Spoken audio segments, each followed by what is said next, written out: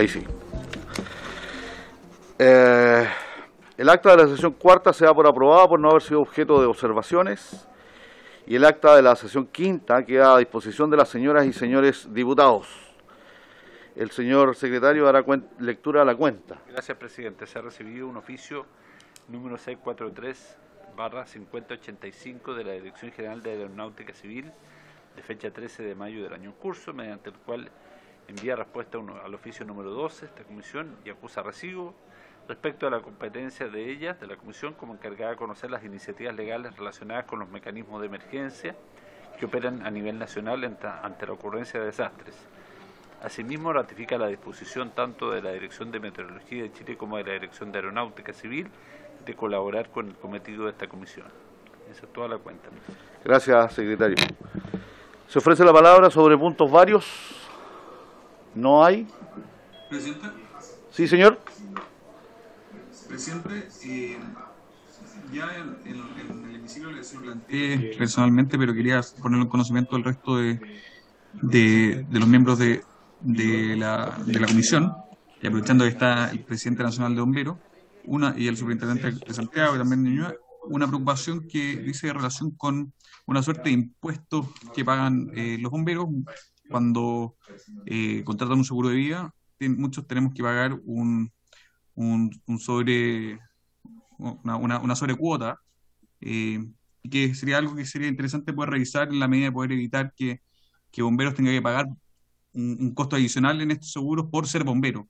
Sabemos que la realidad chilena es muy distinta a la realidad de otros países eh, y creo que no se justifica que la aseguradora eh, cobre una prima adicional eh, por solo tener la calidad de bombero creo que es algo que podríamos revisar y, aprovechando en el fondo la presencia de, las altas autoridades de, la institución, eh, pues, oficiemos bien a la, a, la, a la CMF, a la Comisión para el Mercado Financiero, eh, o, tratarlo con, con, la Subsecretaría de Hacienda, y también a bomberos que nos puedan reportar un poco los niveles de accidentabilidad a nivel general, de modo tal de poder tener conciencia clara eh, de el real impacto en términos de la accidentabilidad de bomberos y si esto realmente justifica el que tengamos que pagar un, o tengan que, tengan que pagar bomberos en Chile una, una sobreprima. Gracias, presidente. Gracias, diputado Araya. Efectivamente lo, lo, habíamos conversado. Me parece a mí eh, una gran oportunidad para revisar este punto.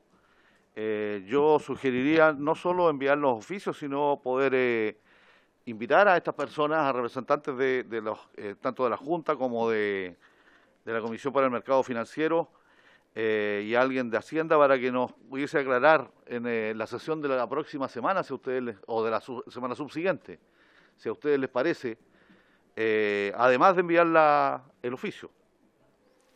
¿Habría acuerdo en eso? ¿Ha acordado entonces? a la comisión. A la Comisión del Mercado Financiero, a la Subsecretaría de Hacienda y a la Junta Nacional de Bomberos. Y a esos mismos invitaríamos a la, a la sesión de la semana subsiguiente. Ok, en la orden del día, esta sesión tiene por objeto escuchar las exposiciones sobre las operaciones de rescate, de rescate agreste. Para estos efectos han sido invitados los señores presidente nacional de Bomberos de Chile, don Raúl Bustos Zavala, el comandante del Cuerpo de Bomberos de Ñuñoa y líder del Grupo de Trabajo Operacional GTO, de rescate agreste de bomberos de Chile, Juan Quevedo, el señor superintendente del Cuerpo de Bomberos de Santiago, señor Marco Antonio Concille, y el jefe regional metropolitano del Cuerpo de Socorro Andino, don Claudio Prieto. Les damos la bienvenida a todos ellos y les agradecemos por, eh, por estar aquí en esta oportunidad para tratar este gran tema que también fue puesto en la sesión pasada por el diputado Araya, eh, de tal manera de poder conocer cómo opera esto de los rescates eh, andinos, cuáles son eh, los permisos que tienen que tener las personas que practican este deporte y cómo podemos mejorar todo el sistema de rescate y especialmente de registro, ¿no? De tal manera que podamos asegurarnos que las personas que practican este, este deporte puedan tomar las medidas de seguridad eh, recomendadas o, de obligación eh, por parte de la, si es que la legislación, entre otras cosas, responde bien a esto, a esta necesidad de, de, que las personas cuenten con todos los eh, los permisos y la, y la indumentaria, equipamiento necesario para realizar este, este deporte. Nuestro, no es nuestro objetivo limitar el deporte, sino muy por el contrario, incentivarlo pero de la manera más segura posible. Entonces, eh, si ustedes estiman conveniente, le damos la palabra en primer lugar a don Raúl Bustos Zavala. Don Raúl, ¿está por ahí? Sí, acá estoy. Eh, muy buenas tardes. muchas gracias. Buenas tardes a toda la comisión. Eh, por intermedio de su presidente, me gustaría ilustrar lo que está hoy haciendo Bomberos de Chile en estas materias de búsqueda y rescate en agreste. Básicamente, saludar también al superintendente del Cuerpo de Bomberos Santiago, don Marco Antonio Cuncille, y a los distinguidos bomberos presentes. Eh, junto con ello, quisiera mm, comenzar eh, señalando que mi exposición va a estar integrada por una introducción de este presidente y dejando la palabra al comandante del Cuerpo de Bomberos Ñuñoa, líder del Grupo de Trabajo Operacional o Mesa Técnica de Búsqueda y Rescate en Agreste. Por su intermedio, presidente, pedir esa autorización. En este, entendido, ya, en este entendido quiero señalarles que una de las lecciones identificadas y aprendidas del terremoto del 27 de febrero del 2010 fue precisamente introducir en Bomberos de Chile procesos de sistematización, estandarización de especialidades de bomberos. Y en ese contexto, a partir del año 2010, con un patrón que nosotros hemos traído desde Naciones Unidas, hemos crear un sistema de estandarización y acreditación de especialidades. Múltiples especialidades que desarrollan bomberos, aparte de, su rol ante la emergencia en general. Y este mm, sistema de estandarización y acreditación de grupos de especialidad nos ha llevado a mm, incursionar en distintas materias de emergencias y en esto eh, están, por cierto, los grupos USAR, que son los grupos de búsqueda y rescate ante estructuras colapsadas en grandes terremotos, desastres. También están los grupos de búsqueda y rescate subacuático.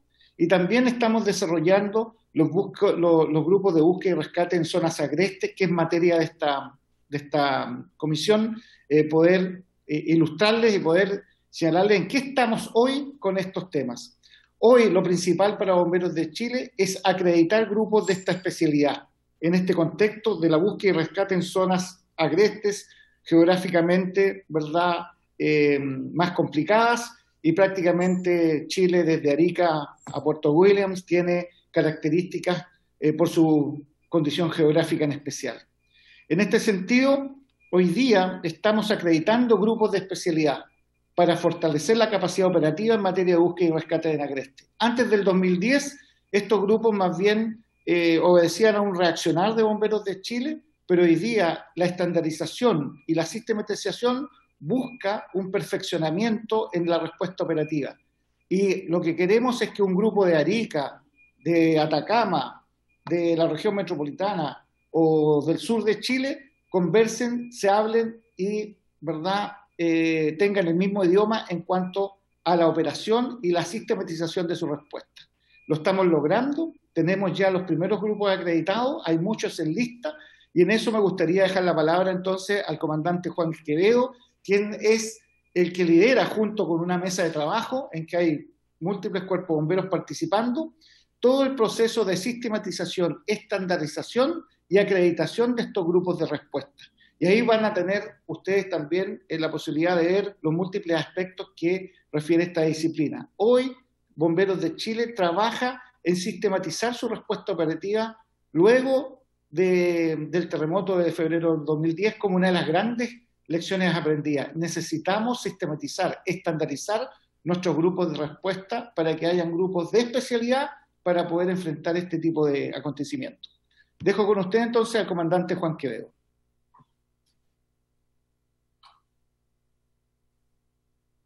Gracias, presidente. Señor presidente de la sala, por su intermedio me presento. Mi nombre es Juan Sebastián Quedo. Soy comandante del Cuerpo de Bomberos de Ñuñoa y como explicó el presidente Raúl Busto, eh, el líder del GTO de rescate de Greste. mesa técnica que ya lleva un desarrollo hace bastante tiempo con respecto a la búsqueda y rescate en espacio agreste. Señor presidente, si me dejara por favor compartir una presentación que hemos preparado especialmente para esta ocasión. Autorizado. Muchas gracias.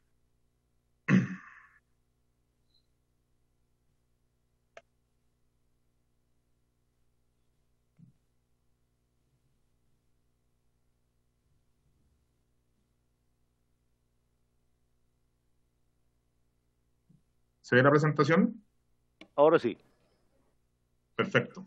Bueno, em, como les comentaba el, presidente recién, eh, a raíz de distintos incidentes acaecidos en nuestro territorio nacional, eh, a ocasión de grandes desastres como el terremoto de 2010 y otros, es que el, la Junta Nacional de Bomberos a través del Sistema Nacional de Operaciones ha buscado sistematizar constantemente distintos procesos y uno esta eh, sistematización de procesos eh, caen en el rescate agreste.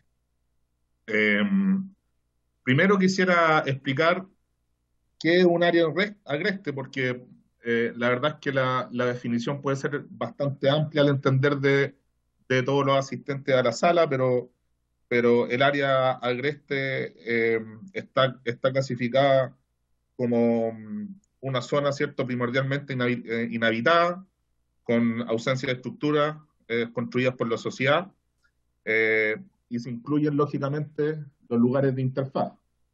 Por lo tanto, el rescate o búsqueda de rescate en área agreste es precisamente eso, la búsqueda, ¿cierto?, de personas extraviadas, lesionadas, en este tipo de lugares, que lógicamente son distintos, totalmente distintos a, a lo largo de todo nuestro eh, territorio nacional. ¿Y qué es lo que hoy día ha hecho Bomberos de Chile en términos de rescate agreste?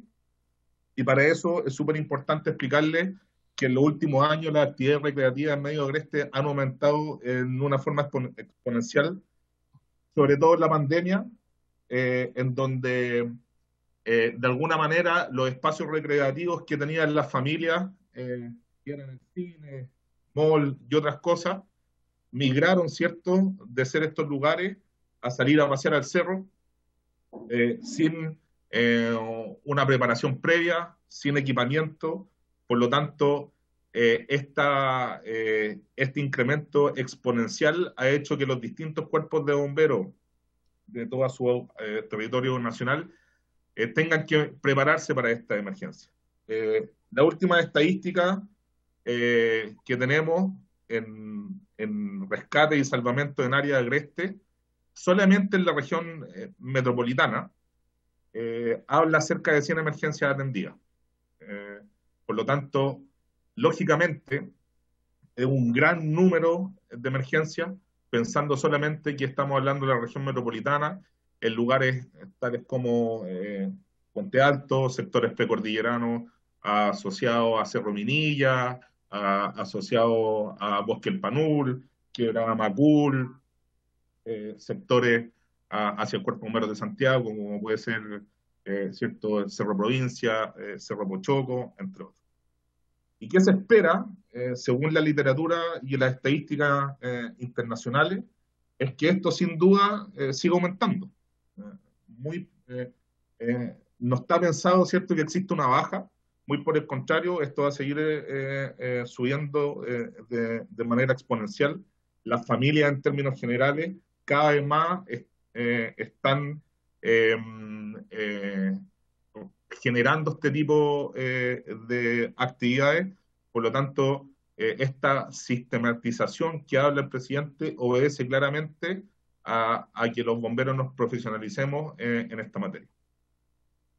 Y existe historia eh, importante, porque eh, la historia no solo habla de, incidentes pequeños, sino que habla de grandes incidentes en donde han, en donde han tenido que responder distintos eh, actores, distintas entidades de emergencia, pero claramente la primera quizás y, y, como un punto de inflexión fue el aluvión de Chañaral, que fue en el año 2015, en donde el Sistema Nacional de Operaciones y, los distintos cuerpos de bomberos que asistieron atendieron esta emergencia con grupos de búsqueda y rescate de estructuras colapsadas, que ustedes los podrían haber, lo han oído escuchar, los conocen, me imagino que el, presidente en algún momento anterior lo ha comentado.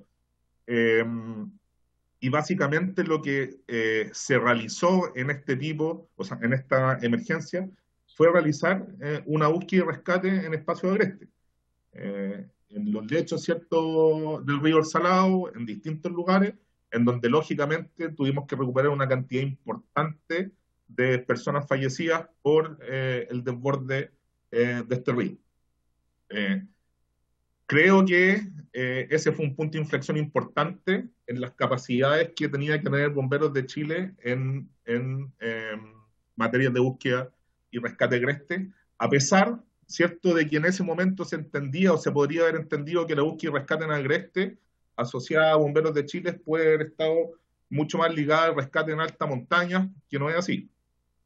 Y después, em, eh, un desastre bastante grande en Villa Santa Lucía, el 2017 o el 2018, si, mal no recuerdo, en donde nuevamente el Sistema Nacional de Operaciones eh, responde a la necesidad de generar búsqueda y rescate eh, en espacios recónditos, ¿cierto? En espacios de interfaz, en donde nuevamente generamos asistencia con características muy similares a las que asistimos a Chañaral, ¿cierto? respondiendo con ciertos medios USA a través de estos puntos de inflexión que hemos tenido como bomberos de Chile, es que el bombero, es que el, la y rescate agreste se ha ido eh, profesionalizando. Pueden ver en la foto eh, que Bomberos ha ido comprando equipamiento ad hoc, ¿cierto?, a, estas necesidades. Mano derecha pueden ver un vehículo, ¿cierto?, eh, un UT 4x4, que es un vehículo multipropósito que sirve para poder extraer víctimas, para poder desarrollar la, eh, la logística para poder acercar personal a lugares y eh, una preparación técnica eh, a nivel nacional que ha tenido Bomberos de Chile a través del Sistema Nacional de Operaciones, específicamente a través del GTO, que ha trabajado bastante duro por poder profesionalizar de alguna manera esta área. ¿Y qué ha hecho el GTO Agreste en esta materia y cuál fue el mandato del presidente nacional para el grupo de trabajo operacional de rescate agreste. Primero, tener una guía de respuesta, ¿cierto? Una guía de rescate agreste que de alguna manera em, enmarcara y pudiese describir cuál era el marco de acción que iban a tener los grupos de búsqueda y rescate agreste a nivel nacional. Segundo, un manual de capacitación y un manual de capacitación que no solo esté asociado a los equipos de búsqueda y rescate que iban a ser acreditados a través del Sistema Nacional de Operaciones, sino que un manual de capacitación que pudiese estar abierto a todos los bomberos de Chile, independientes fuesen o no parte de los grupos de rescate agreste. Y por último, un proceso de acreditación. O sea, que los equipos que están hoy día haciendo búsqueda y rescate en área agreste acrediten a través de su guía a través de las capacidades técnicas, a través de las capacidades logísticas, este proceso. Hoy día tenemos eh, cumplimiento de las, diría que las dos más difíciles. Uno, la guía de rescate agreste. Segundo, el proceso de acreditación. El manual de capacitación está en su fase final, en proceso de revisión. Probablemente el segundo semestre de este año empecemos a pilotear este manual de capacitación y afortunadamente todos los bomberos de Chile van a poder ser capacitados en esta materia. Y hoy día, a través de estos tres productos, ¿qué podemos ofrecer como bomberos de Chile? Primero, búsqueda de víctimas sin paradero conocido. ¿En qué? En senderismo, ¿cierto? En actividades deportivas, como los comenté antes, eh, actividades familiares, desastres naturales, ejemplo, aluviones como lo que ya pasó en Chañaral, accidente aéreo, o también puede ser complemento de grupos eh, o complemento a incidentes GERSA, ¿cierto?, de rescate eh, subacuático, muchas veces eh, los componentes GERSA empiezan, ¿cierto?, eh, su búsqueda en los mismos lagos, en los mismos ríos, pero la emergencia finalmente eh, termina en que las víctimas o las personas desaparecidas están en los lechos de río, perfectamente pueden ser competencias de estos grupos de búsqueda y rescate agreste. Y lógicamente en presuntas desgracias, la PDI y distintas instituciones, eh, Fiscalía, no ha activado en distintas oportunidades en presuntas desgracias, en búsqueda eh, y rescate agrestes de personas eh, que no se sabe el paradero, que han eh, manifestado intenciones de atentar contra su vida y, hemos tenido cierto que activar capacidades importantes para poder ir en ayuda de estas personas. Y también rescate lesionados con paraderos conocidos. Muchas veces las centrales de alarma de los distintos cuerpos de bomberos reciben georreferenciaciones, ¿cierto? Eh, de personas que no alcanzaron a bajar porque se les vino la noche, porque están pasando frío, porque necesitan un helicóptero, etcétera, etcétera. Y lo que hacen eh, los cuerpos de bomberos eh, a través de sus centrales de alarma es despachar unidades más cercanas para poder evaluar la situación y de esa manera activar todos los componentes necesarios para realizar esta búsqueda y rescate en espacios agrestes. Como lo he dicho, bomberos no realiza, no realiza, y no es el objetivo de bomberos realizar eh, rescate o búsqueda y rescate en alta montaña. Por lo tanto, muchas veces bomberos ha tenido que llegar a evaluar la situación y activar, por ejemplo, GOPE, Ejército, Socorro Andino, entre otras instituciones. ¿Cuál es el alcance operacional que creemos que los grupos de búsqueda y rescate agreste deben tener? Esto está inserto en la guía, pero sin duda la guía puede ir variando, no es un documento que esté escrito en piedra, sino que es un documento que puede tener eh, distintas mejoras, pero eh, lógicamente existen distintas realidades en las diferentes regiones. Lo primero, lógicamente, es estandarizar la capacitación y el equipo. Eso lo logramos, como les dije anteriormente, con la guía y con el proceso de capacitación y el manual pero hemos delimitado un límite geográfico norte, un límite geográfico sur, eh, ¿cierto? En donde dice que la zona norte em, va a trabajar em, hasta los 4.500 metros, la zona central hasta los 3.500 metros y la zona sur hasta los 2.500 metros.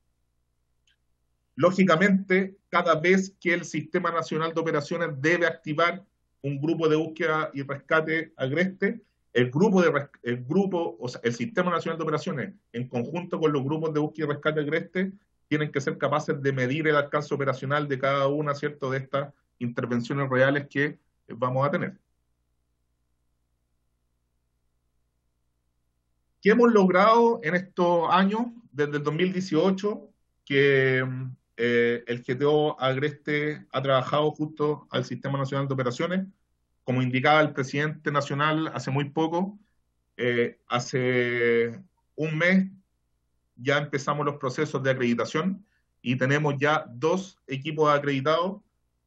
El primer equipo en acreditarse fue uno de la quinta región del Cuerpo Bomberos de San Esteban y el segundo en equipo acreditarse recién este fin de semana fue el equipo eh, del Cuerpo Bomberos de Puente Alto. Dos equipos tremendamente fuertes dos equipos con tremendas capacidades para poder asistir eh, a cualquier territorio a nivel nacional para poder desempeñarse en una búsqueda y rescate agreste. Pero eso no termina, tenemos un total de 12, o teníamos hace muy poco un total de 12 equipos eh, en proceso, pero afortunadamente eh, hemos satisfactoriamente encontrado muy buena respuesta de los distintos cuerpos de bomberos eh, para los procesos de acreditación. Y es por eso que tenemos hoy día en proceso de acreditación equipos eh, tremendamente también comprometidos con eh, no solamente con el ámbito de capacitación, sino también con el ámbito logístico, como el Cuerpo de de Santiago, en donde se encuentra presente su superintendente, y Nicolás Oliver, también miembro del GTO, el Cuerpo de de Antofagasta, el Cuerpo de Bomberos de Yungay, el Cuerpo Bomberos de Puente Montt, Cañete, Colina, Tomé, Huepil, Futalefú, Arica. Bueno, como pueden ver, hemos desarrollado, ¿cierto?, eh, una guía robusta, hemos logrado tal sistematización que todos estos cuerpos de bomberos van a prestar un futuro soporte, un futuro apoyo a los eh, incidentes o intervenciones que tengan que ver con eh, rescate en agreste. Esperamos que dentro de este año se puedan acreditar al menos tres equipos más. Y en, en el primer Q y segundo Q del año 2023, esperamos que todo este listado de equipos ya esté totalmente acreditado no obstante, podrían seguir apareciendo, ¿cierto?, más equipos eh, acreditados o en proceso de acreditación a nivel nacional eh, de manera futura. Con esto eh, em, he querido relatar en muy poco tiempo todo el trabajo que ha hecho Bomberos de Chile en, términos estratégicos, en lo que en lo que se refiere el presidente nacional en torno a la sistematización del Sistema Nacional de Operaciones y cómo ha trabajado Bomberos de Chile para lograr, ¿cierto?, aumentar sus capacidades sobre la búsqueda y rescate en espacio de agreste. Muchas gracias por la completa presentación. Le damos la palabra al superintendente del Cuerpo de Bomberos de Santiago, don Marco Antonio Comsille.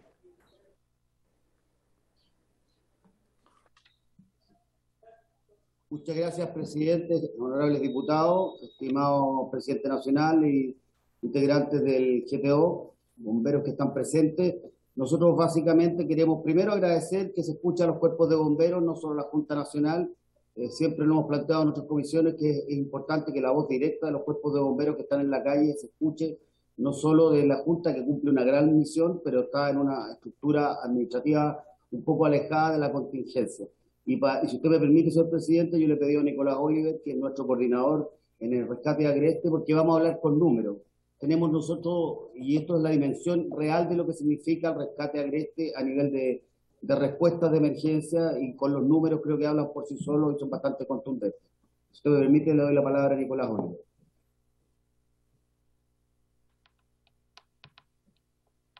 Buenas, buenas noches a todos, presidente. Eh, gracias, superintendente. Si me permiten compartir pantalla. ¿Se, ve bien? Sí, muy bien. Bien. Con permiso, buenas noches a todos, presidente. En primer lugar, agradecer la invitación. Eh, esta presentación tiene un enfoque un poquito más local que, lo que acaba de mostrar el, comandante que veo.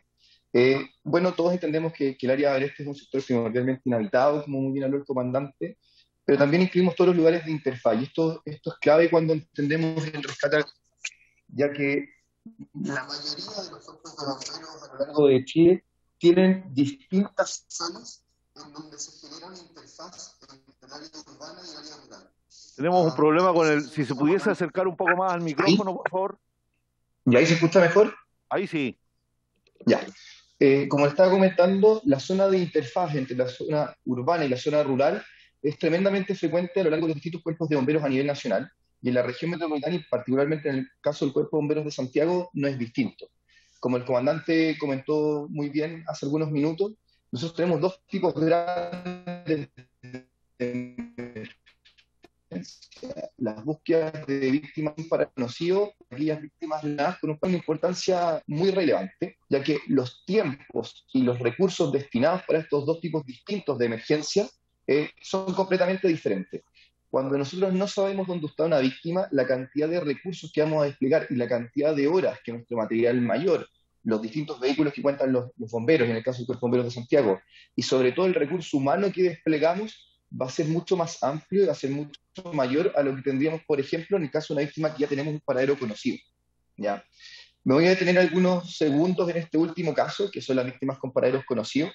Eh, que acá entran situaciones importantes desde el punto de vista logístico, ya que habitualmente los medios tradicionales con los que contamos bomberos para poder acceder a estas víctimas no nos sirven. Acá nuestros grandes carros de bomberos, eh, los vehículos que tenemos, no nos permiten acceder de buena manera y queremos contar con medios no tradicionales o no conocidos habitualmente eh, como vehículos de bomberos, como en el caso de los UTV o los ATV. Eh, y acá, por cierto, que una de las herramientas más útiles es el que nuestros propios voluntarios puedan acceder desde infantería a estas víctimas. eso conlleva un cambio logístico eh, o un cambio de paradigma logístico tremendo. Nosotros pasamos de utilizar uniformes de incendios estructurales a vestirnos como rescatistas para ir a subir un cerro o ir a hacer un trekking, una actividad mucho más deportiva acá hay que entender que estas víctimas no solamente van a ser pacientes politraumatizados, que es algo clave. Nos empezamos a enfrentar con pacientes que no necesariamente eran los habituales que veíamos en un accidente vehicular, o en un accidente de tránsito, o en algún accidente cuando prestábamos apoyo en el entorno urbano. Empezamos a tener condiciones médicas descompensadas. Tenemos pacientes que se han infartado en el Cerro Manquehue, ataques de epilepsia en, en provincia, y un sinnúmero de condiciones médicas que los bomberos habitualmente no atendíamos y que en los últimos años hemos debido enfrentar porque somos la primera unidad de respuesta muchas veces en llegar a este tipo de pacientes o este tipo de víctimas que requieren nuestro apoyo. En general, el rescate en áreas agreste es un rescate que va en aumento. Esto va muy de la mano con, la cantidad de oferta outdoor que estamos teniendo en los últimos años, no solamente a nivel regional, sino también a nivel nacional. Y en particularmente en la región metropolitana y en especial el área que atiende el Cuerpo de Bomberos de Santiago, esta oferta ha crecido de manera exponencial. Y una de las cosas que nos ha dicho la literatura internacional y las distintas publicaciones que hay respecto a la materia es que mientras más horas pasemos en esta interfaz urbano-rural o francamente en la zona agreste, mayor va a ser la cantidad de accidentes y necesitamos que la gente que va a responder a estas emergencias, sean médicas o sean traumáticas, estén capacitados. Acá nosotros podemos ver cómo partimos en el 2017 con casi 20 emergencias en el año, hasta un pic en el año 2021, en plena pandemia, en que íbamos a tener más de 100 emergencias. La tendencia durante el año 2022 es alcanzar la misma cantidad de emergencias en el año 2021 y probablemente superar, como ha sido la tónica en los últimos años, solamente disminuir en el 2020 al inicio de la pandemia, eh, de manera sistemática en el aumento. Dentro de la jurisdicción del Cuerpo de Bomberos de Santiago, nosotros presentamos este mapa de calor que demuestra cómo a través de toda la interfaz urbano-rural hemos tenido distintas acciones o distintas emergencias, tanto traumáticas como médicas. Y por cierto que la concentración va a estar en aquellas comunas donde esta interacción urbano-rural es mucho más amplia, como en el caso de Lobarnechea, Vitacura o Las Condes. Sin embargo, tenemos emergencias también en cerros islas, como han sido denominados, como en el caso del Cerro San Cristóbal o incluso el Cerro Santa Lucía, que han tenido que responder un poco distinto a lo que habitualmente se hacía. Los rescates tienen algunas estacionalidades, nosotros vamos a ver que el PIC en general está dado en los meses de invierno. Eh, este año no ha sido la, la, diferencia y se estima que el aumento vaya a ser exponencial también en el mes de julio, un poco proyectando lo que pasó durante el año 2021 y el año 2020. Acá la gran diferencia fue en que el año 2020, producto de la pandemia y las medidas restrictivas que tuvimos respecto al, acceso a los cerros, a la, movilidad, eh, se vio interrumpido y no tuvimos emergencias durante esos meses. Pero la tendencia siempre ha sido que en los meses de junio, agosto, tenemos un pic en este tipo de emergencias. Cuando nosotros analizamos los números, la verdad es que la, la lógica tiene mucha, mucho que decir en esta situación. La gran mayoría de las emergencias ocurren en los días inhábiles como es el sábado y el domingo por la actividad deportiva que se desarrolla. Sin embargo, tenemos emergencias en días tan poco frecuentes como un martes a las 2 de la mañana o un día absolutamente laboral y en horario absolutamente laboral. Eh, los horarios de accidentes tienen que ver mucho con los horarios en que la gente habitualmente practica más estas actividades deportivas y tienen que ver en, los horarios eh, clásicos de, participación, que son entre las 10 y las 8 de la noche. En resumen, estos son rescates que van en aumento. La, evidencia internacional es clara en decir que las medidas prohibitivas no tienen un impacto directo en disminuir la cantidad de accidentes, que las medidas preventivas como educación y prevención sí son útiles eh, y que una vez que parte la actividad en, lugares outdoor o en lugares agrestes, que por cierto todos conocemos los beneficios que ello conlleva desde el punto de vista de la salud física y mental, debemos estar preparados como instituciones para poder responder. La capacitación y la preparación de unidades de primera intervención es fundamental para que estos rescates, que son desde el punto de vista logístico, logístico perdón, tremendamente complejos, los podamos desarrollar de una manera más eficiente y más segura. Aquí debemos tener protocolos transversales de atención a víctimas. Esto no solamente corre para bomberos, sino que a todas las unidades de primera respuesta en este tipo de incidentes, sean de salud, eh, de policías, eh, de militares o de bomberos en nuestro caso, debemos tener protocolos que sean similares, hay, hay experiencia en el mundo que se ha logrado hacer esto de muy buena forma. Y es clave que la coordinación y la participación de los distintos actores, tanto en respuesta como en coordinación de emergencia, debe ser hecha con protocolos y con fundamentos sustentados en la literatura actual que nos permitan llevar de una mejor manera el desarrollo de este tipo de rescate.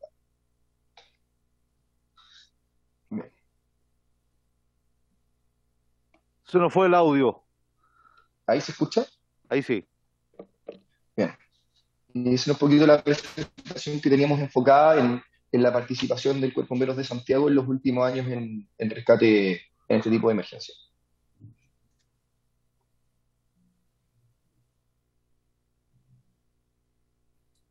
Gracias, señor presidente. Desde el punto de vista del Cuerpo Bombero Santiago, es lo que queríamos presentar y si usted me permite, eh, dado el tema que tocaron en, el punto anterior respecto a los seguros, que eh, tocó el diputado Araya, eh, no solo el tema de las primas preocupa, hay un tema que hemos planteado muchas veces en esta comisión y lo ha planteado la Junta también, es la demora en los reembolsos de los gastos médicos de los voluntarios los accidentes que se producen en los actos del servicio. O sea, yo sé que la Cámara y también la Junta y todo el mundo ha oficiado a la CMF, pero es un tema que es insalubre y yo tengo cargo directivo en el Cuerpo de Bomberos Santiago hace 10 años y llevamos una década y no podemos encontrar una solución.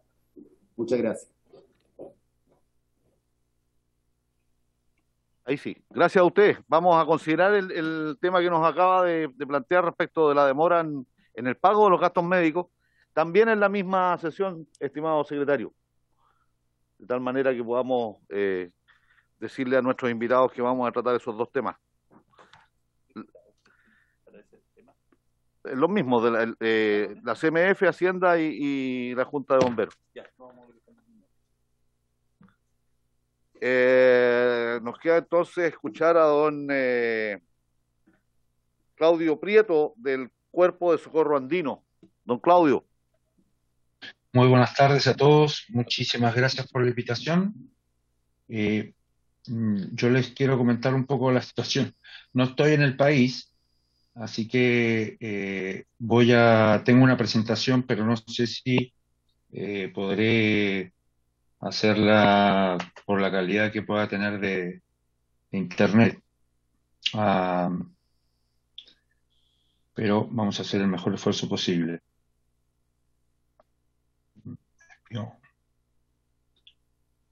Voy a, ver si puedo compartir la, pantalla.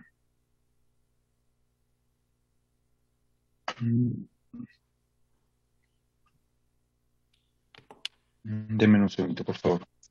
Eh, básicamente, lo que vamos a intentar eh, presentar en esta en este informe, en esta realidad que queremos mostrar, es eh, como bien lo decía la gente de bomberos, muy bien, muy bien expuesto, es el, poder mostrar cuál es la realidad eh, desde el punto de vista del cuerpo socorrandino como, como, como ente que viene desde el año 49 participando y, ayudando en, rescates agrestes o de montaña.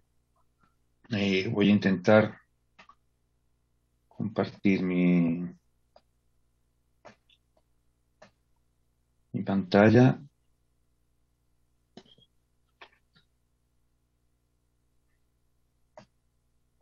Dame un segundito, por favor.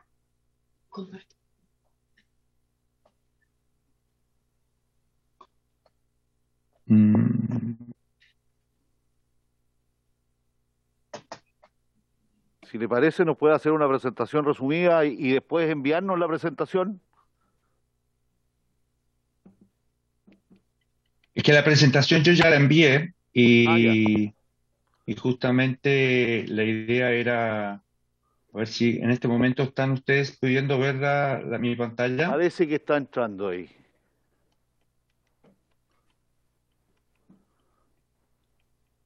Les pido disculpas, pero... No, se preocupe. Ahí entró. Creo que ahora, sí estamos.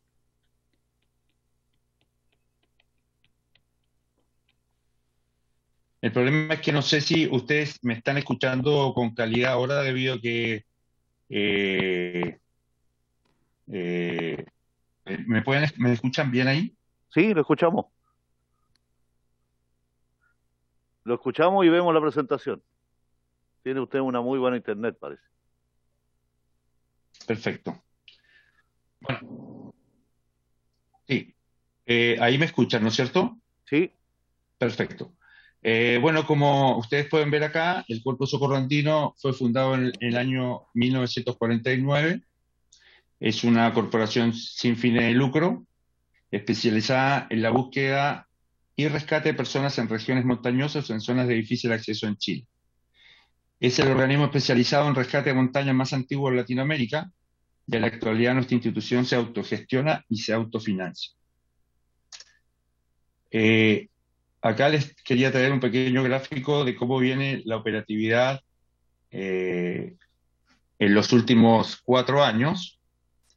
Eh, cuando comenzó la pandemia y en plena pandemia hubo una baja en, las operaciones, pero ya en el 2021 se, hubo un aumento en, las operaciones que, hemos tenido y a mayo de este año ya llevamos 24 operaciones, o sea, estamos hablando de más de una intervención por fin de semana.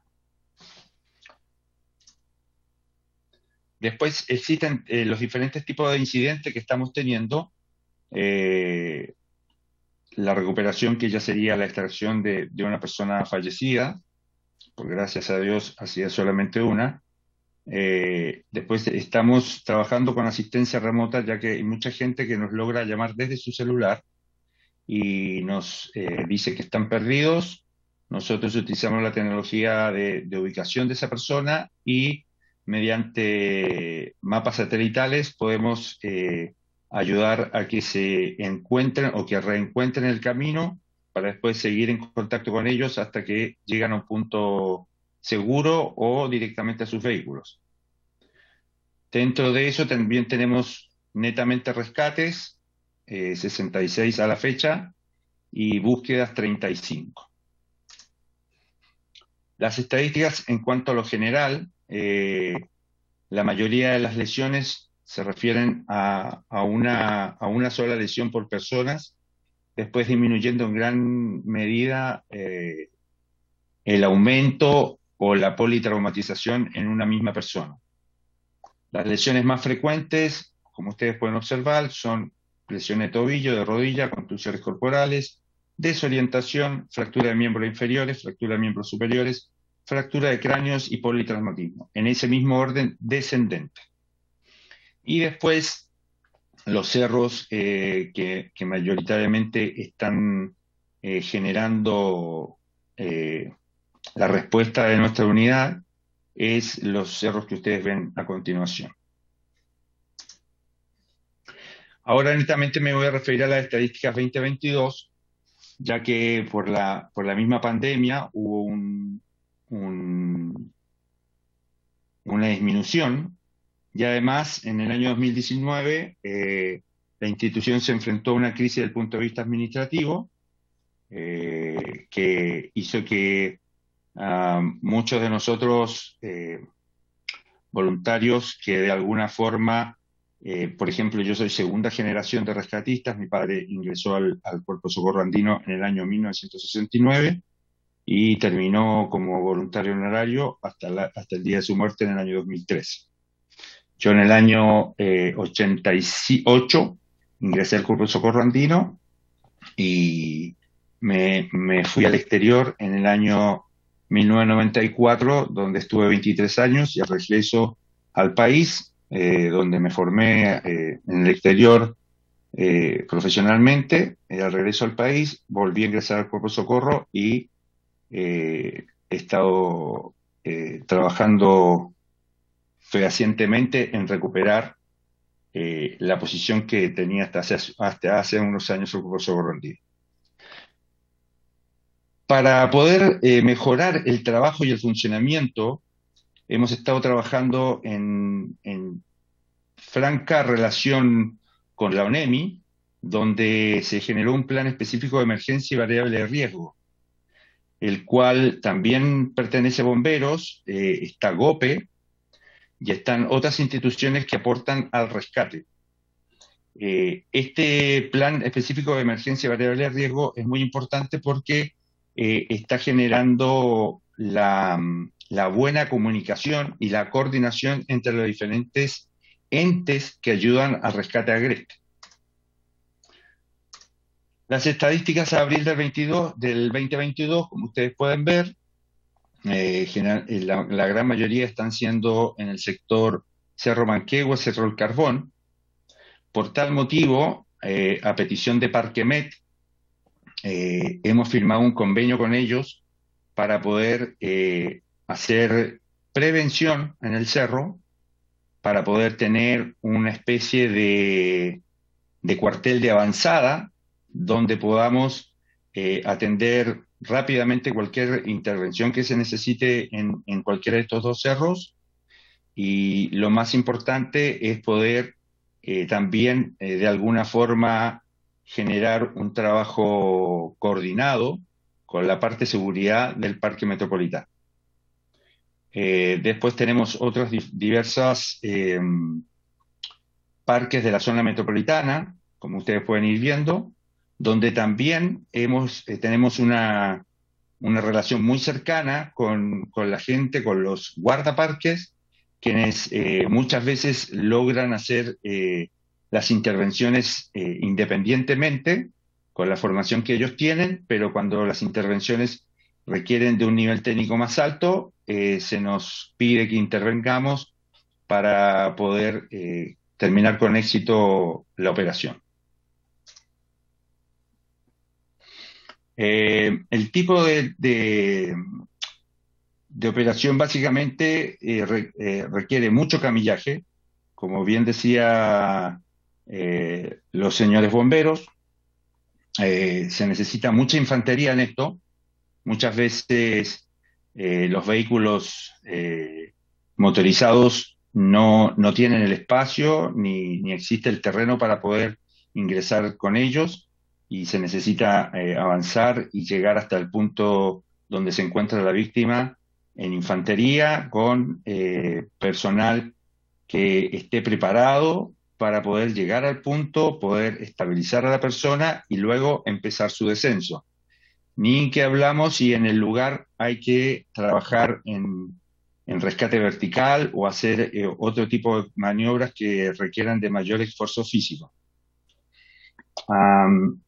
después eh, también se da la asistencia en descenso de personas que están perdidas, la cual se puede dar a cualquier momento, a cualquier hora y a cualquier día de la semana, eh, donde generalmente vamos con un con un grupo acotado de tres, cuatro eh, rescatistas para, para, encontrar a la persona y ayudar en, su descenso, pensando que la persona o sabiendo que la persona se encuentra en buen estado.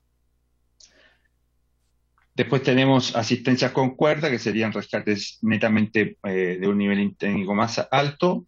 Y después eh, hemos logrado en casos muy puntuales la ayuda de de la, de la policía con, su, con sus helicópteros para poder evacuar a las personas de lugares de difícil acceso y, y, de difícil evacuación, lo que podría poner en peligro la salud vital de esas personas. Y después tenemos, en cuanto al 2022, eh, lesiones múltiples, un número de dos, de, dos casos, y lesiones de pierna, tobillo y rodilla, 7 y 3 respectivamente, y personas desorientadas, 7 personas. Eh, la actualidad, la, actual eh, realidad del Cuerpo Socorro Andino Metropolitano, en este momento yo me estoy refiriendo al Cuerpo Socorro Andino Metropolitano, que es a, lo que, a lo que yo me puedo referir por mi puesto,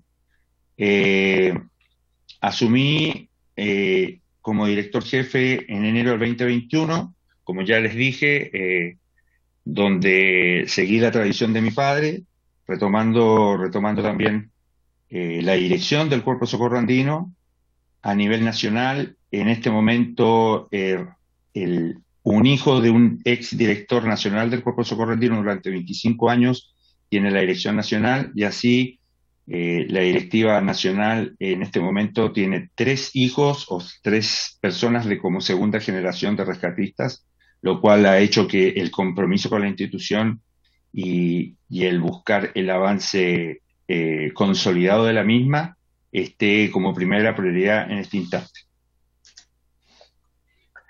Para tal motivo, se, rápidamente se tomaron las medidas necesarias para retomar una estructura unificada en la operatividad para poder trabajar en forma coordinada con ONEMI, bomberos y carabineros, además de otras instituciones que participan en incidentes de rescate de montaña. Adoptamos el sistema de comando de incidente para responder en forma más eficiente a las diferentes emergencias y poder trabajar con otras instituciones cuando así lo ameriten. Eh, ya bien lo, deben saber eh, varios participantes de, esta, de esta reunión, que lo más utilizado hoy por hoy para poder coordinar entre diferentes instituciones es el sistema comando de incidentes, donde se puede eh, rápidamente y en forma eficaz disponer de los equipos para que puedan trabajar en forma rápida y segura. Dentro del Socorro Andino, dentro de mi, dentro de mi delegación, se creó una mesa técnica y donde tenemos un jefe de operaciones que en este momento da formación eh, justamente en algunas compañías de bomberos al tema del rescate agreste. Ha trabajado con GOPE también dando algunas eh, formaciones. Y lo más importante es que con la mesa técnica hemos logrado eh, dar una formación aguda de rescatistas, los cuales deben ingresar a la institución como aspirantes. La mayoría deben ser montañistas, o sea, una de las, eh, podríamos decir, eh, punta de lanza de nuestra institución es que somos montañistas. Somos montañistas que rescatamos a otros montañistas por lo tanto, nuestro medio, nuestra, nuestro medio natural es la montaña y por eso eh, podemos eh, responder a varios tipos de, intervenciones que pueden ser de media o alta montaña y en la forma eh, más rápida posible, dado la alta exigencia física que requieren este tipo de intervenciones. Eh, al mismo tiempo firmamos un convenio con el Grupo Rescate Médico de Montaña para la formación sanitaria de nuestros rescatistas e incluso hemos coordinado intervenciones en, intervenciones de mayor complejidad. Contamos con el apoyo en terreno de un médico de la agrupación. El médico que está de turno en ese momento de la agrupación se une a nuestro grupo de intervención y posteriormente eh, puede dar eh, el trabajo específico como médico si así lo requerimos. A su mismo tiempo, hemos, como les comenté, hemos hecho alianzas operativas con los parques más visitados de la zona metropolitana para tener una comunicación directa en caso de activación de algún operativo. Eh, acá es importante, eh, señores, que se entienda que el rescate yo me voy a referir un poco más al rescate de montaña, que es lo que más nos, nos compete a nosotros. El tiempo es oro. Eh, dependiendo de la fecha del año, ahora que nos vamos a enfrentar a, meses muy fríos, una persona generalmente, las estadísticas nos dicen que eh, la persona da un aviso de emergencia cuando ya realmente se encuentra en una situación que no debería haber esperado tanto. Eh, en invierno estamos recibiendo eh, llamados de emergencia más o menos a las 18 horas. Ese es el promedio que nosotros estamos recibiendo y para invierno ya esa hora es tarde. Por lo tanto, nuestro accionar debe ser muy rápido para poder evitar que esas personas, aparte de estar desorientadas o en algunos casos eh, que puedan estar heridas se enfrenten a, los efectos de hipotermia o a otros efectos que pueda causar el estar a la intemperie en invierno. Y después eh, hemos gestionado donaciones puntuales de algunas empresas para poder cubrir la necesidad operativa de la institución, ya que, eh, como ya les dijimos, en el año 2019, ante una crisis administrativa, perdimos el aporte que recibíamos del Estado, eh, que, y ese, esa pérdida del, aporte nos, nos hace estar en constante situación límite en, nuestros recursos. Por suerte, eh, el, ser una institución eh, muy arraigada en la, en la gente de montaña, en la población, con un, con un, con un alto valor eh, para, todas estas personas, las empresas nunca tienen problema en, en, ayudarnos en estos casos y hasta el momento hemos podido responder efectivamente a todas las exigencias que requiere nuestra operatividad. ¿Cuáles son los desafíos a corto y mediano plazo? Eh, luego de, un periodo donde se están ordenando y normando las diferentes directrices de funcionamiento de la delegación, nos hemos puesto metas para llegar a ser el referente al rescate de montaña. Eh, se, normará una, malla formativa de aspirantes que buscará preparar a nuestros compañeros de tal forma de poder trabajar con la preparación profesional frente a cualquier rescate en zona agreste y en coordinación con otras instituciones.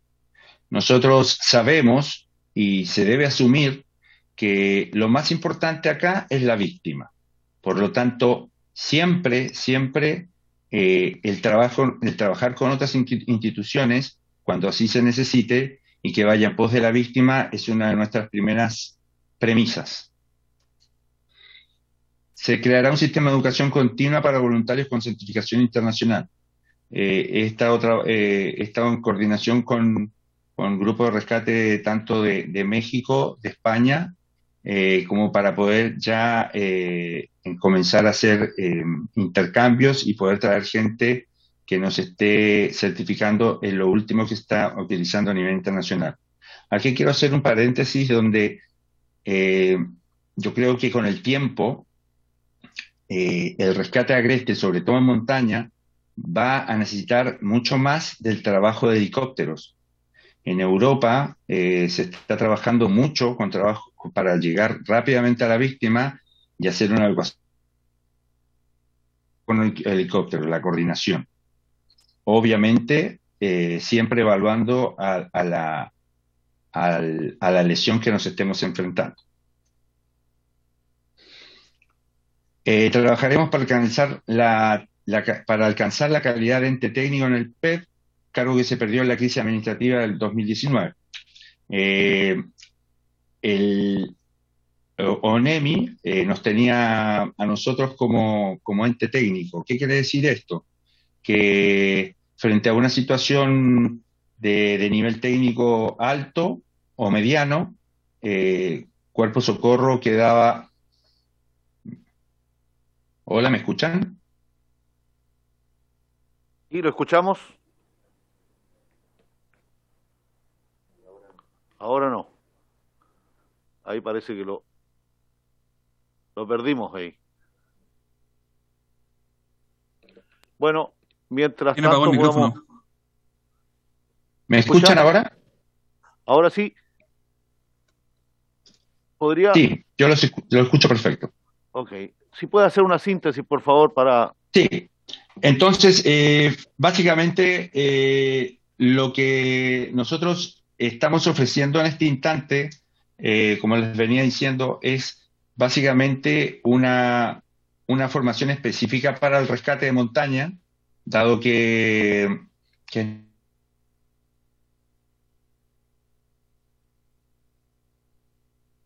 Ahí lo perdimos.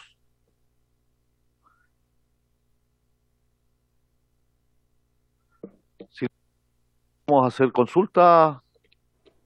¿Alguno de ustedes tiene alguna consulta que hacer? Diputada. Buenas tardes. Em, por su intermedio, señor presidente, consultar, em, yo creo que al primero de los invitados, ¿cuáles son los, los tiempos que duran las búsquedas de personas extraviadas dentro del contexto de su actividad? Y, y a la última persona que expuso, al señor Prieto, consultarle por, como habló de los helicópteros de, rescate que existían, con cuántos helicópteros contamos para esos efectos. gracias, señor presidente. Sí. La palabra al diputado primero y después responden, por favor. Sí, eh, yo creo que la, que la consulta va eh, de, la siguiente forma. Eh, ¿Tenemos alguna ley o algún instrumento legal en relación a que han habido situaciones donde eh, pasó un caso especialmente en Chiloé, en Cucao, en el sector de Cucao, que hubo una persona extraviada aproximadamente por dos semanas, donde se ocuparon eh, buzos tácticos, helicópteros, aviones y todo el, aparataje eh, de las eh, de orden y, también de, seguridad de, la zona. Y en realidad al final se encontró la persona en una orilla de playa que se había rastreado por mucho tiempo y al final salió en todos los medios de comunicación a nivel nacional eh, como que había sido un sobreviviente de 15 días y eh, no hubo ninguna responsabilidad desde el punto de vista económico. Hubieron muchos gastos de, del Estado y al final esta persona, hoy día yo la veo allá en la, en, la comuna de Castro, quería entrar en reality, me parece, en algún momento de supervivencia y, y al final parece que pagamos todo el costo de alguien que estuvo ahí en un sector de Cucao y, al final siempre eh, cuando iban en la búsqueda parece que, que, él sabía y, se iba a otro sector. Así que no sé si hay algún costo, si, si es que tenemos alguna responsabilidad legal como para que alguien en algún momento tenga la responsabilidad de, que esos costos, cuando hay una situación que, que no es por una por una tragedia, eh, eh, pudiéramos considerarla dentro de una nueva ley. Eso, presidente, por el intermedio. Yo quiero también hacer dos preguntas para, para que podamos dar espacio a las respuestas después. Una, en el sentido de lo que estábamos hablando recién, el financiamiento, eh, cómo se financian, y eh, el otro respecto de las normas para los deportistas y para los practicantes, para las personas que acuden, si a juicio de usted esas normas son adecuadas o mediante alguna iniciativa legal habría que perfeccionarla y qué se les ocurre en ese sentido. Tienen la palabra, ustedes me dicen, perdón, el diputado Araya. Sí, gracias, presidente. Así aprovechamos esta pregunta. Eh, era para preguntarle a, a, los rescatistas, tanto al, comandante como a, Nicolás y sino también al señor Prieto, y en la, en la lógica de la accidentabilidad. Podríamos referirnos, obviamente, esto es, cualitativo. Las causas de estos, ¿cuántos podríamos decir? Muchos, pocos, la mayoría, corresponden a, comportamientos negligentes o temerarios de las personas versus lo que es un accidente propiamente tal, que, que fue un hecho fortuito propiamente tal. Aquí, ¿Por qué la pregunta? Porque evidentemente hay ciertas cosas que podríamos abordar desde el punto de vista de la educación, eh, pero hay otras que van a ocurrir siempre. Y en ese sentido, el cómo ven ustedes la posibilidad bien de sancionar a quien tiene una conducta temeraria y genera operaciones de rescate. Eh, por ejemplo, el, que sube a las 11 o 12 de la noche a un cerro porque quiere sacarse una foto, sin ningún equipamiento, sin, sin iluminación, sin, sin la ropa adecuada. Eh, servirá, no servirá, tal vez la parte más, sigue una pregunta un poco abierta y, y, institucionalmente les puede costar contestarla, pero, pero creo que por ahí puede ser parte de lo que podemos trabajar y evidentemente que esto sirva, y lo estoy pensando que esto sirva como excusa también para poder promover educación propiamente de montaña o del comportamiento en, en, en, lugares ecuestres, de modo tal que esto nos permita también oficiar e involucrar al Ministerio de Educación, etcétera, y otras instituciones, pero, pero partir con algo en esa línea. Gracias, presidente. Muy bien, entonces vamos a dar la, la palabra contrapetición nomás. ¿Respondo yo, presidente, usted? Muy bien. Adelante, presidente. Déjame eh, responder la primera parte que más bien involucra todo el tema de financiamiento. Por su intermedio, señor presidente. Eh, aquí hay dos preguntas fundamentales. Eh, primero, los periodos operacionales, lo, decía la señora diputada, los periodos operacionales. ¿Cuánto dura un periodo operacional en estas materias? Cuando hablamos de periodo operacional es el tiempo en que se despliega una fuerza de rescate, un grupo de rescate en estas materias. Generalmente los grupos operacionales o el periodo operacional es de dos a tres días. Supongamos que fuera de tres días y a veces eh, estos periodos operacionales requieren ir cambiando el grupo, que rotando los grupos de búsqueda y claro, hay, eh, hay eh, periodos operacionales muy cortos, en que prácticamente en los dos días o tres días de un periodo operacional eh, se puede solucionar eh, el tema de la emergencia, se encuentra la víctima o, se recupera el cuerpo, etcétera. Pero hay también periodos operacionales tremendamente largos, como por ejemplo de Chañaral, que fueron prácticamente cerca de 41 días de rotación de equipos, como también la búsqueda del joven, ¿se acuerdan ustedes de, Cochamó? También un periodo operacional bastante largo. Eh, la situación vivía en Villa Santa Lucía, periodos operacionales de más de 30 días. Entonces, esto complejiza mucho todo lo que es eh, esta labor. La ley marco de bomberos de Chile encarga a la Junta Nacional de Bomberos de Chile desplazar a los bomberos entre regiones, a estos grupos entre regiones, cuando se superan, eh, entre, eh, en nuestro concepto se superan las capacidades regionales, nosotros estamos obligados por ley, artículo 13 de la ley marco, a movilizar grupos en este caso de especialidad para atender estas emergencias. Eso lógicamente también tiene un costo. Pero el principal problema, eh, y yo creo que también podría ser materia de un acercamiento por parte de esta comisión, es la gestión de emergencia. Generalmente la gestión de estas emergencias se produce por presunta desgracia y eso es competencia del Ministerio Público, de un fiscal en específico. Lo primero que hace ese fiscal ordena a grupos de búsqueda Socorro Andino, Bomberos de Chile, o ONGs que se dedican a esto también, ordena que se hagan presentes y que se realicen las operaciones de búsqueda. Esto, si bien la Junta Nacional de Bomberos de Chile tiene un presupuesto para atender uno, dos, tres periodos operacionales a lo más, a veces se vuelve bastante extenso y resulta de que la Fiscalía el Ministerio Público no tiene ningún recurso para financiar esto y por lo tanto después nos piden eh, informes y prácticamente por qué eh, se ha suspendido la búsqueda. Muchas veces el fiscal se opone a la suspensión de la búsqueda y realmente es que nadie paga esto. La institucionalidad, la legalidad en estas materias en Chile, a decir verdad, es bastante precaria. Depende prácticamente de los organismos de rescate, del financiamiento que pueda sostener el grupo de rescate andino, eh, los bomberos de Chile y eso realmente para nosotros no puede ser. Tampoco aborda muchas veces la ONEMI estas, estas búsquedas y se, un poco se desentiende también del financiamiento de estas operaciones. Aquí no hay alertas como, como en las otras situaciones de incendios forestales. Y lógicamente al final todo esto termina siendo financiado por la voluntad de organizaciones, ONGs, Rescate Andino, Bomberos de Chile, con un presupuesto que fiscal que tiene para estas operaciones también, pero bastante exiguo. Nosotros no podemos más atender más allá de dos o tres periodos operacionales. El cuerpo bombero local, que es el que se lleva la, gran carga, digamos, tratando de sostener diariamente eh, los periodos operacionales de búsqueda y rescate en agreste. Este es un tema preponderante. ¿Y qué pasa al final? El gobernador, ¿verdad? Asume un poco los costos, trata de pelear los costos, pero al final no hay una política integral respecto a esta materia.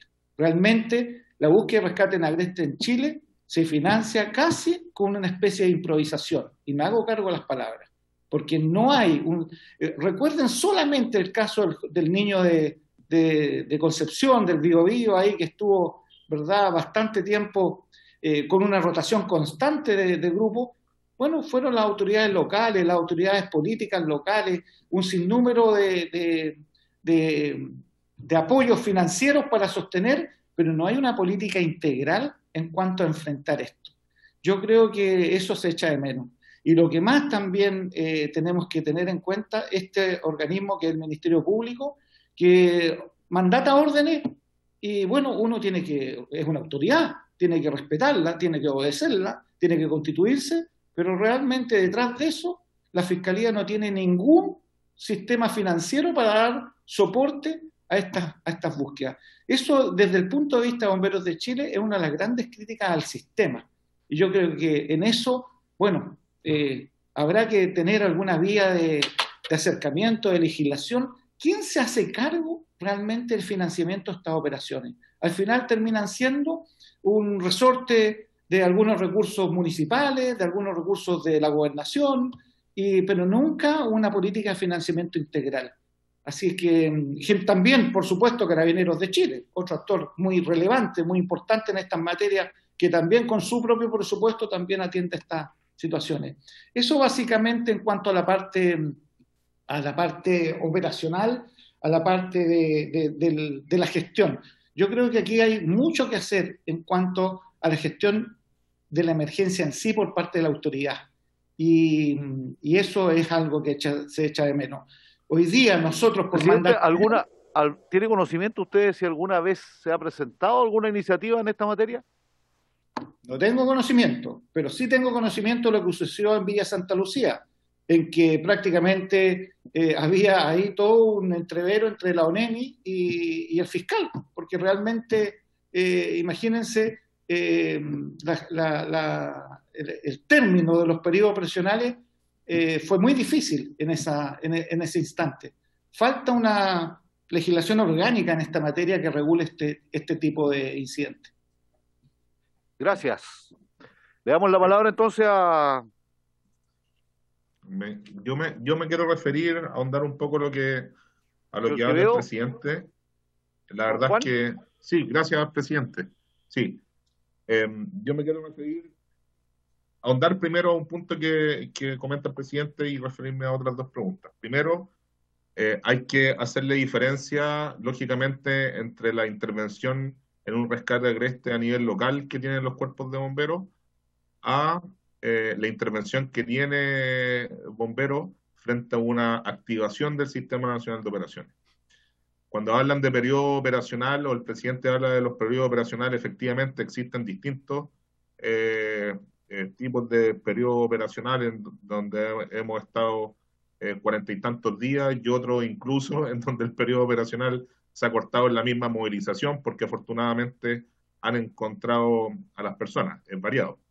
Eh, pero generalmente lo que responde eh, y lo que hablaba Claudio a través de, del, rescate agreste a nivel local, en donde, por ejemplo, en la región metropolitana existe un documento que establece que el mando técnico lo tiene el GOPE y que interactúan distintas instituciones, el periodo operacional va desde, un día hasta cinco días. Ustedes podrán recordar el, incidente que se generó en, el cerro em, eh, en el cerro provincia o la entrada del cerro provincia en donde dos niños dos eh, eh, jóvenes entraron hacia por el cerro provincia terminaron en, en la quebrada Ramón finalmente fueron detectadas por el SAR, por el, por la, em, por el encargo, por la, el grupo de, búsqueda y rescate aéreo, en donde más o menos duró cinco días. Entonces, la verdad es que es relativo. Segundo, con respecto a los apoyos aéreos, eh, que se hace tan necesario en, los rescates agrestes que comentaba una, una diputada, es bastante complicado, bastante difícil movilizar recursos eh, aéreos. Eh, ustedes saben que la coordinación aérea eh, para todo evento eh, eh, es, una coordinación muy a alto nivel.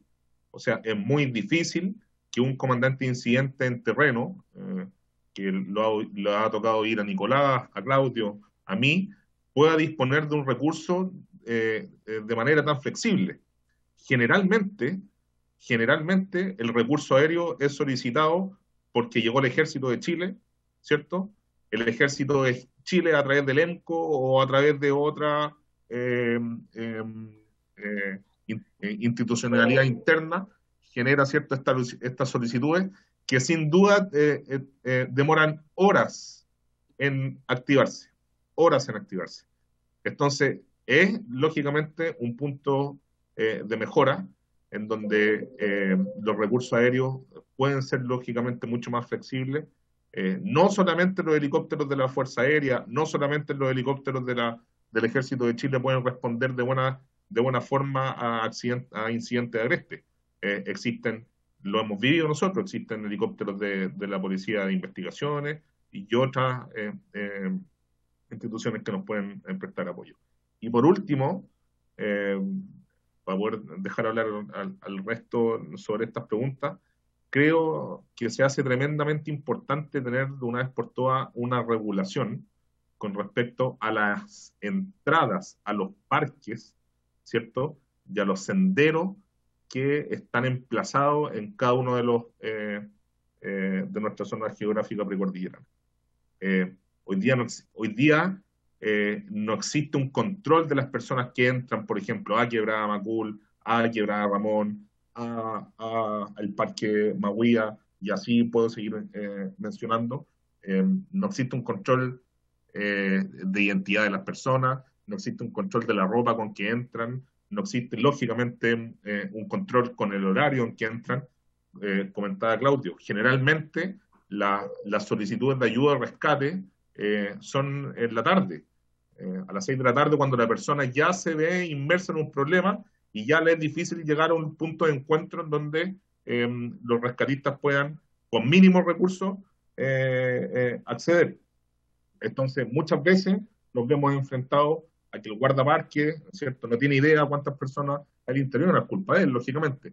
Pero existe una poca conciencia, sí, de las personas, ¿cierto?, que hacen este tipo eh, de actividades y cuando el diputado Araya nos pregunta, bueno, ¿qué tan negligentes son estas personas que, que, que, finalmente terminan siendo eh, rescatadas? Y la verdad, y, y, como dice el presidente, me hago cargo de las palabras, muy negligentes. Entrar a un cerro a las 3 de la tarde con short, zapatilla, en junio, en julio, eh, pretender subir un cerro, ¿cierto? Como es el provincia, como es el Pochoco, como es Quebrada Ramón, es una negligencia tremenda. Esa persona no va a subir a las 3 de la tarde para ir a darse una vuelta por una hora. Va a las 3 de la tarde para hacer cumbre. Ese es su, ese, ese es su, eh, su objetivo. Por lo tanto, son tremendamente negligentes eh, en hacerlo. Y tienen que haber un, marco regulatorio que de alguna manera sancione eh, a estas personas. además, lo que comentaba el presidente nacional, existen otro tipo de búsquedas, como por ejemplo la de este joven eh, muchacho, el, niño, el Tomasito, eh, que, son, eh, eh ¿cierto?, gatilladas de, de, otra forma, pero por ejemplo, existen otras que son mucho más incomprensibles. Nosotros, en particular, el Cuerpo Bombero de Ñuñoa estuvo participando aproximadamente siete días, en un periodo operacional de siete días, por una persona, por una presunta desgracia de un joven en el Cerro Minilla, en el sector de, del Bosque El Panul, en donde participaron muchos eh, entidades eh, por una presunta desgracia de una persona que todavía no aparece. Eh, porque solo dejó una carta de suicidio en donde en ningún momento tampoco decía que iba a ir a, a, un, a un, cerro a suicidarse y solamente fue identificado en ciertas imágenes cercanas al cerro. Y el despliegue operacional y el despliegue de recursos fue tremendo fue tremendo. Eh, participó Socorro Andino y distintos cuerpos de bomberos. Eh, eso en, cuanto a las preguntas que han hecho. Muchas gracias. diputado. ¿Alguien más quiere hacer uso de la palabra?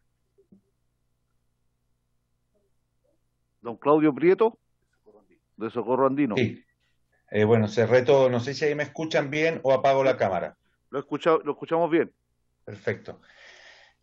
Es un tema muy complejo este mucho más complejo de lo que nos imaginamos y es mucho más complejo en el sentido de que esto necesitaría mucho más que una reunión. ¿Por qué yo le digo esto? Eh, por ejemplo, diputado Araya, eh, como yo les dije, nosotros estamos inmersos en la actividad de montaña. Conocemos el perfil del montañista y el de que no es montañista. El montañista chileno tiene una preparación muy buena. Es una persona preocupada por tomar eh, cursos de primeros auxilios en zonas agrestes, se toman cursos de, de cursos básicos de montaña, de todos los cursos técnicos que pudieran haber. Pero nos estamos enfrentando a algo que mi profesión es profesor de educación física, nos estamos enfrentando a una situación que como como profesional del deporte se está dando, y qué bueno que se esté dando, que la gente está accediendo a estos parques naturales para poder tener una mayor actividad física. Entonces, la pregunta yo la hago desde otro punto de vista. ¿Se puede decir que alguien es negligente cuando es ignorante? Entonces, ahí yo lo que quiero es quizás quebrar una, una, una vara por buscar mayor educación, dar mayor educación. utilizar recursos del Estado para poder promover una educación. Somos un país de montaña y de mar. Entonces, todos los niños que viven en la costa deberían tener acceso a educación sobre lo que es el, el mar, el agua, natación. Y los niños que viven en la montaña deberían tener acceso a cuáles son las conductas adecuadas para poder ir a la montaña. Entonces yo, antes que una sanción, y yo entiendo que la sanción eh, es, es, la forma, eh, lo punitivo es la forma quizás eh, que a una persona la podría hacer pensar más en ser o no negligente, no sé si da resultado. Como yo le dije, estoy afuera del país, en este momento estoy en Europa, eh, mi señora es europea y es montañista europea, y ellos han ido por otra situación, que es la de la educación. Entonces, eh, yo creo que debe, deberíamos, sin lugar a dudas, a buscar educar a la gente por la cantidad de, de medios que hoy se prestan. Nosotros estamos trabajando mucho con redes sociales en este momento para poder justamente empezar a educar. En cuanto al financiamiento, eh, claro que, esas, eh, operaciones de largos días llevan un gasto gigante y, muchas veces para cuerpos voluntarios como es bomberos, como somos nosotros, eh, es difícil afrontarlos. Ahora bien, eh, yo creo que eso debería existir un ente coordinador en cuanto a todos este tipo de actividades que son netamente de rescate en montaña. Yo no estoy hablando tanto de búsquedas, si bien nosotros participamos, pero son muy puntuales las búsquedas que se hacen de varios días. Nuestras rescates y operaciones pueden durar desde tres horas hasta el último rescate que se hizo a 4.300 metros en el cajón del Maipo, en el Cerro Arenas, que nos llevó 26 horas. Entonces, eh, yo creo que para ese tipo de, de, de, operaciones debería existir un ente que tuviese la suficiente fuerza, la suficiente apoyo legal para poder manejar, para poder distribuir, para poder eh, llegar a financiar, si se fuera necesario, eh, todo este tipo de operaciones. En este caso específicamente, yo creo que el ente que más se podría acercar y que fue una lástima que no fuera invitado a esta reunión es la ONEMI. Eh, se viene haciendo un trabajo de coordinación con la ONEMI, si bien no es el que todos quisiéramos, no es el que no es el perfecto, pero si ya tenemos un, una, una, estructura que puede empezar a funcionar, yo creo que hay que tratar de reforzar esas estructuras para mejorarlas. Y, y finalmente, el tema de los helicópteros, eh, históricamente el Cuerpo de Socorro trabajó con el Servicio Aéreo Rescate de la FACH. Yo desde que soy pequeño se, eh, no se contaban historias de, de los pilotos de la FACH.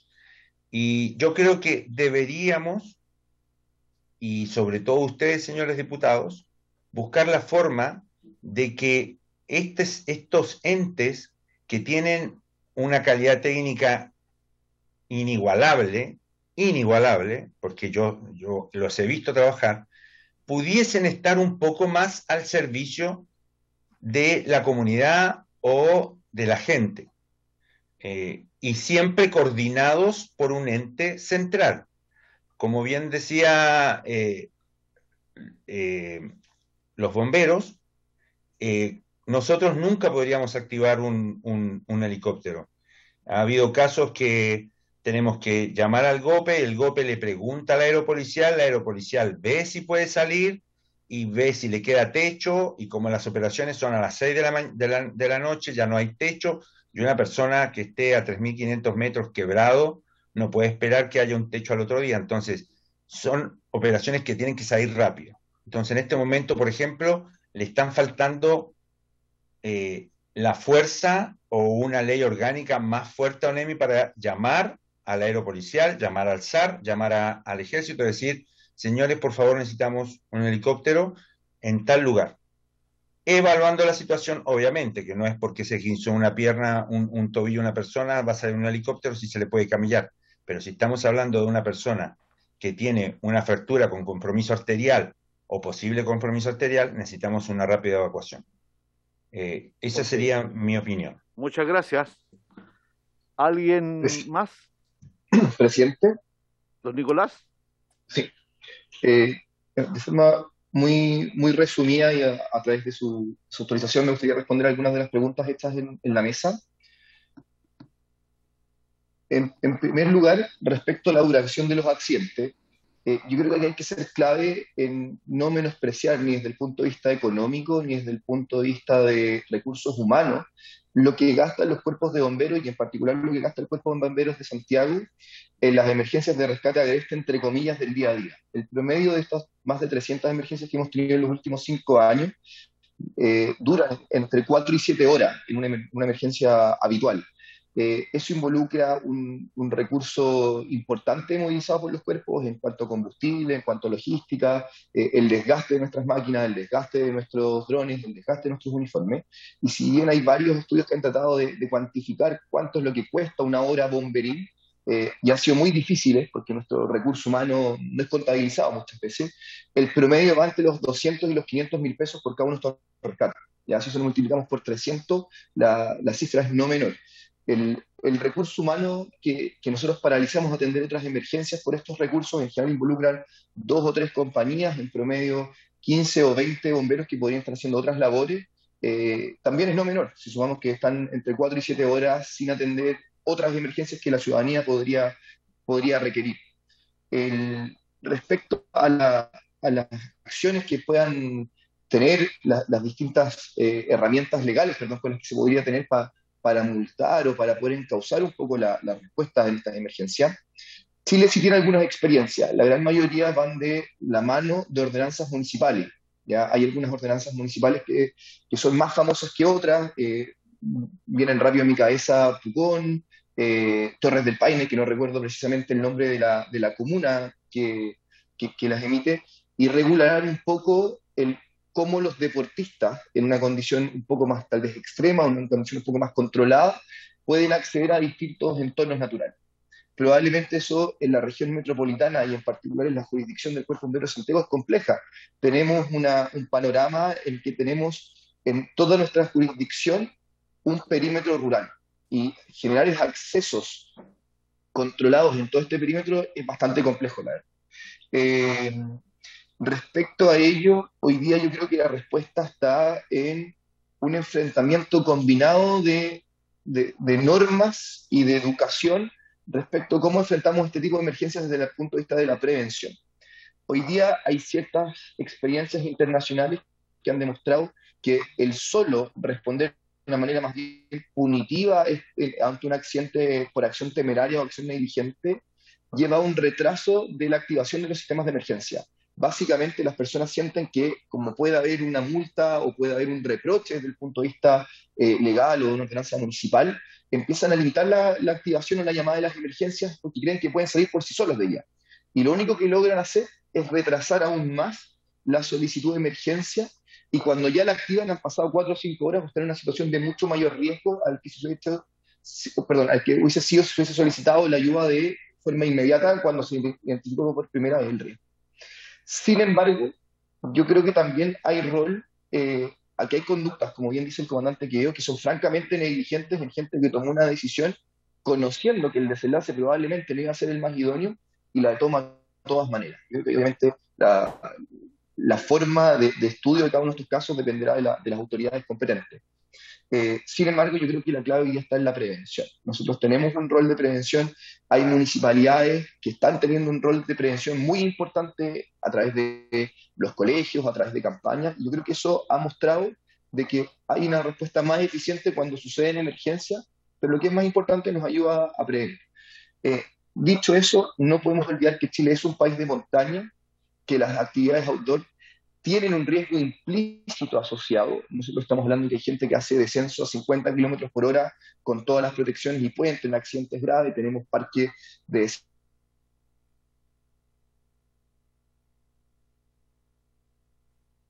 Se nos fue el audio. Y se nos fue la comunicación también. ¿Alguien más quiere hacer uso de la palabra? Bueno, le queremos agradecer, no sé si hay alguna otra, alguna otra consulta.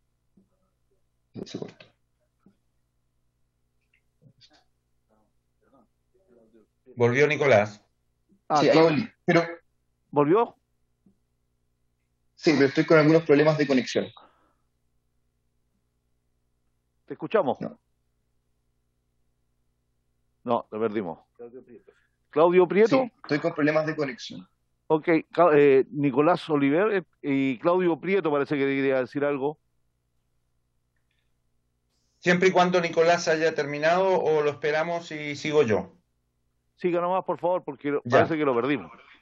Sí, eh, escuchando un poco a Nicolás y apoyando completamente sus palabras, la realidad de los parques cordillera, que son los que cubren casi toda la, la periferia rural de, de Santiago, eh, de, verdad hay una preocupación de ellos en cuanto a la accesibilidad, que las personas queden, eh, queden registradas. Eh, hay, hay una educación de su parte. Lo que yo, como cuerpo socorrandino, estamos tratando de, implementar ahora es análisis de riesgo de esos parques para poder apoyar a, a los administradores de esos parques en generar mejor señalética, mejores consejos, porque así como decía Nicolás, yo creo que por donde tenemos que apuntar es, eh, suponiendo que se viene el invierno, hacer una gran señalética de que usted está ingresando a un sector con esto, estas características y usted debe estar vestido de esta forma. Ahora bien, siempre tenemos gente que va a, va, a entrar por la ventana. Y eso eh, yo creo que también pasa, si bien por, por una actitud eh, negligente, yo creo que va muy asociado de, la ignorancia y vuelvo a, recalcar eso. No lo digo en forma despectiva, sino que lo digo de la, si quieren, cambiamos la palabra ignorancia de la falta de experiencia. Porque eh, cualquier persona que, esté metida en el mundo outdoor sabe que hay actitudes que no puede hacer, que no puede irse a las 11 de la noche a, a un mirador en la montaña para ver cómo está la ciudad sabiendo que puede pasar un, momento muy complicado. Pero yo creo que también deberíamos apoyar un poco más a los parques para, porque es la única forma, o sea, yo creo que la gente va a seguir entrando por la ventana y la única, para mi punto de vista, es más que, eh, más que castigar, es educar para que sepan a lo que se están metiendo. Ok, muchas gracias. Bueno, quiero darle las gracias infinitamente a todos los que, eh, a todas las personas que asistieron en esta oportunidad. Eh, vamos a tener un momento de debate nosotros seguramente y esperamos poder emprender en esta materia algunas acciones que vayan en el sentido de lo que ustedes nos han eh, señalado. Así es que les, los despido y, les agradezco mucho su, su voluntad de habernos colaborado esta tarde. Muchas gracias. Muchas gracias por considerarnos. Buenas tardes. Muchas gracias. Muchas gracias, muchas gracias, de verdad. Gracias, que estén bien. Hasta luego. Yo les quería, quería proponer, eh, hay aquí alguna, hay algunos temas aquí que, que creo yo eh, requerirían de una revisión exhaustiva para ver si podemos generar alguna norma o, proponer alguna moción. Mm. Se me ocurre que una buena, una buena fórmula sería, está Está el diputado Araya escuchándonos ahí, ¿no es cierto? ¿Está escuchándonos? Presente, firme. Ah, sí. Quería ver si pudiésemos generar una reunión de los asesores jurídicos nuestros, de tal manera que ellos escucharan este esto que ha grabado, por tanto podrían eh, escuchar eso y ver si podemos generar alguna norma, conversarlo con la ONEMI, probablemente haya que revisar también ahí la, la ley de la ONEMI para me parece, hay, hay, tres o cuatro ideas que yo rescato aquí muy, de manera muy explícita. Lo de incentivar a la Fuerza Aérea a colaborar. Es un tema de, ya de coordinación, digamos, y a lo mejor ahí lo dijeron ellos, creo que eh, darle más facultades a la ONEMI en, el sentido de tener efectivamente instrumentos de mayor coordinación puede ser un, un aspecto bien significativo. Habría que consultárselo, por supuesto. Lo otro es eh, para coordinar especialmente los medios, los medios aeropoliciales, la Fuerza Aérea, en fin. El otro es el tema de las ordenanzas municipales, hay que ver cómo está eso, digamos. Mm. Eh, al, al, final se hizo un comentario aquí respecto de, por ejemplo, todo el tema de, de la información y de la formación. Entonces, quizás también habría que, que, al menos estudiar con el Ministerio de Educación en aquellos lugares donde haya más eh, práctica del andinismo, el senderismo y todas estas cosas, poder incluir dentro de los programas de formación de los niños, digamos, eh, este tipo de, de actividades y, especialmente de, su, de, los resguardos que hay que tomar. ¿no? Y también creo yo que hay que ir por el lado de la responsabilidad de las personas que practican esto. Eh, habría que descubrir alguna fórmula, pero lo que me permito es plantearles esta idea, digamos, de que eh, hagamos, le pidamos a nuestros asesores que se junten, que analicen y que nos propongan si, si, si hay algo que podamos colaborar, ¿les parece? Perfecto. Yo entonces me ofrezco para, para pedirle a mi asesor que coordine. ¿Les, parece? Y les mando por el WhatsApp a la comisión entonces a todos los que estén interesados. Porque en esto yo entiendo que la, la secretaría no puede, no puede intervenir, ¿no es cierto? Así es. Por supuesto.